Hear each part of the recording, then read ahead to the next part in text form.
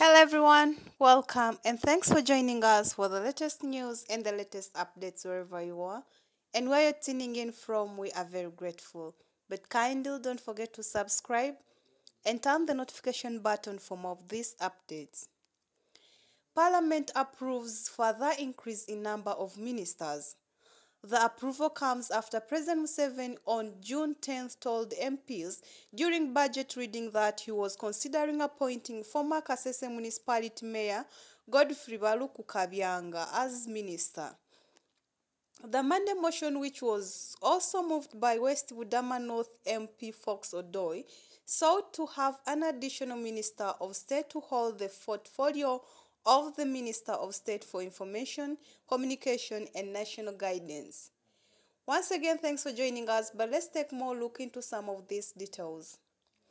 The Parliament has approved further increment in the number of ministers from 80 to 81, barely a week after the same House voted to increase cabinet by the creating opposition of a state minister for the elderly.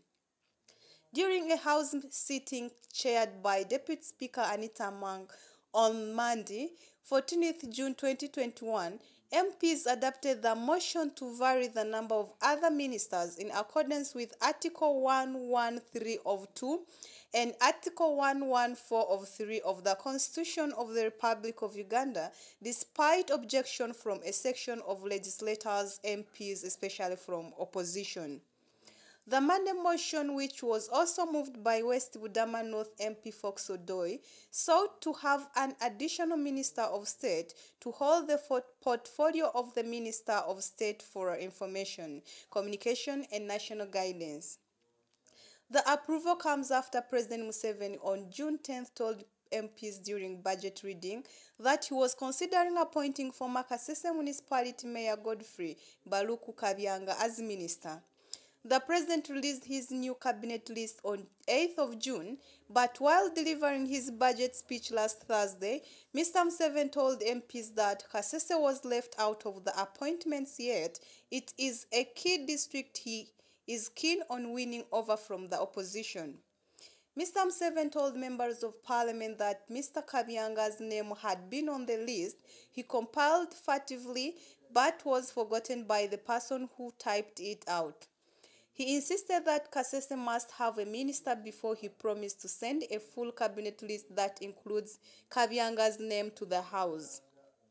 While seconding the motion for variation of ministers on Monday, Bugweri County MP Abdul Katuntu said, when you look at all sub-regions, they have representation, but there is none from Kasese, and yet the constitution states the cabinet should reflect national character.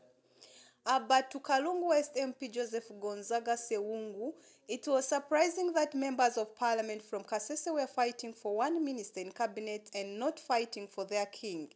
Uh, Omusinga Charles Wesley Mumbere, who has been in incarceration and can't access his kingdom, which was raided by security operatives in 2006 before he was arrested and prosecuted. And he also added on saying that we don't need to decide on Kasese, but we need to balance the board to ensure that the country is served equally. Kilaki North Anthony Akol echoed. However, Tororo District Woman MP Ms. Sarah Opendi urged MPs not to attach variation of ministers to Kasese. There is no mention of Kasese in the motion, otherwise, other districts which are missing will come out demanding for inclusion, she said.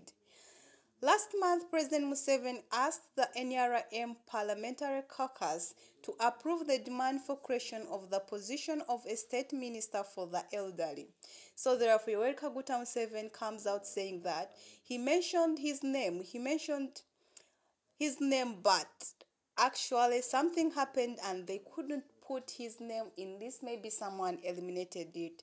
So he's asking the parliament to work on that so that they can fix the kasese mp to be one of the ministers.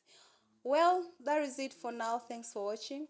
But we'll keep on updating with more of this. But kindly don't forget to subscribe and turn the notification button